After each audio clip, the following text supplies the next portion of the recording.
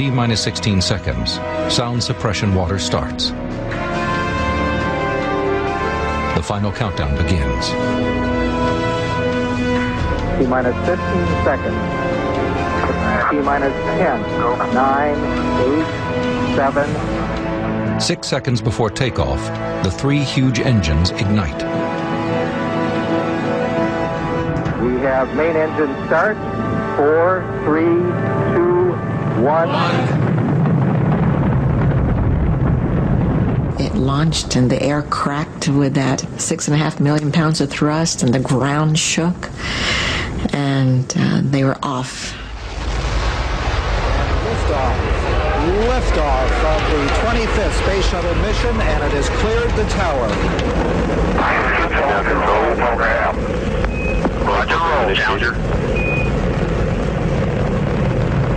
Good roll program confirmed. Challenger now heading downrange. What no one has noticed as the shuttle rises from the launch pad is a puff of black smoke from the lower part of the right-hand booster. Due to the cold conditions, the O-ring has not expanded to seal the gap. Hot gases are leaking. The pressure of the gas has pushed aside the second backup O-ring. I was sitting there, and the vehicle ignites and clears the launch tower, and I turn to Bob and whisper, Looks like we dodged a bullet. because we had all expected it to blow up in the pad. Because that's what the propellant experts in engineering had told us. Roger, roll program. Roger, roll, Challenger. Roll program confirmed. Challenger now heading downrange. Engines beginning throttling down now at 94%.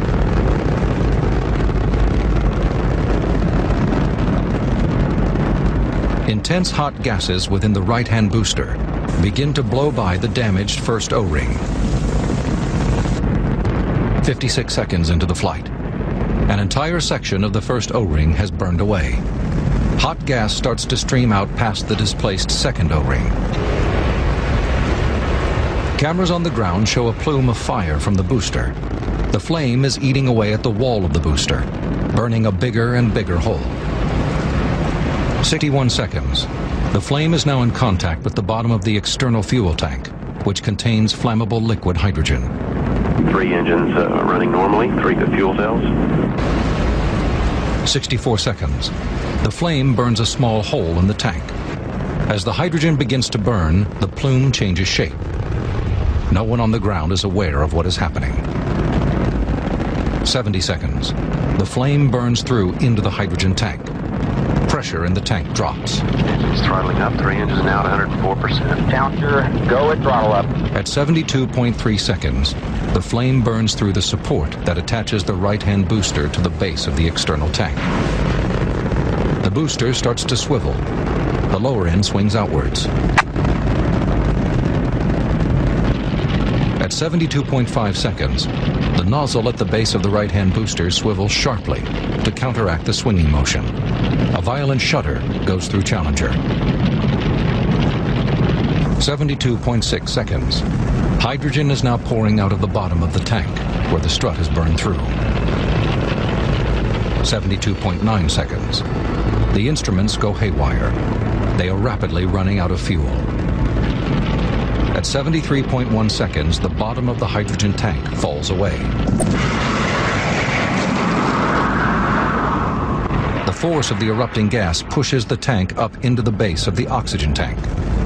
The nose of the swiveling booster hits the top of the external tank, ripping it open. There is a sudden brilliant flash as the oxygen and hydrogen mix. 73.5 seconds. Challenger's engine shut down. The last data from Challenger is radioed to Earth. The explosion blasts the shuttle free. It is tumbling through the atmosphere at 1,250 miles per hour. The enormous stress tears the shuttle apart. The nose section is torn off. It contains the crew cabin and the seven astronauts. The cabin is still heading upwards, but air resistance is slowing it down. On the ground, people begin to realize what has happened. Something is terribly wrong. And then all of a sudden it, it looked different. And then it began to shatter in a million pieces. Just like our hearts.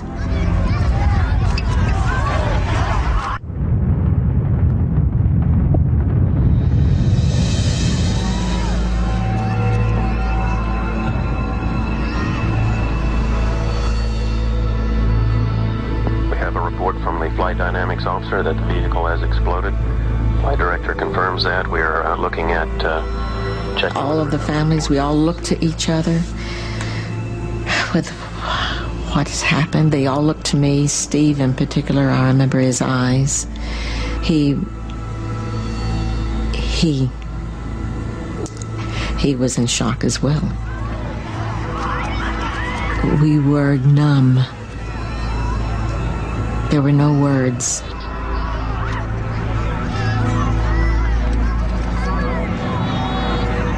someone spoke up and said, uh, We have to take care of these families and get them back to crew quarters. So they put us on the bus. We could see that uh, Kennedy Space Center had absolutely come to a halt. And there was just crying everywhere. So um, I knew then that there was no chance that that. Um, that Dick was able to fly the orbiter back safely to uh, the launch pad or anything. The crew cabin is torn off in the massive explosion. At least three of the crew are able to turn on their emergency air supplies. But at this point, the cabin is almost certainly depressurized. The crew would lose consciousness within seconds.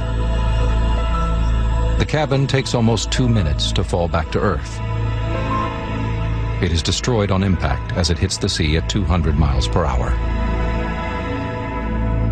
No one survives. I went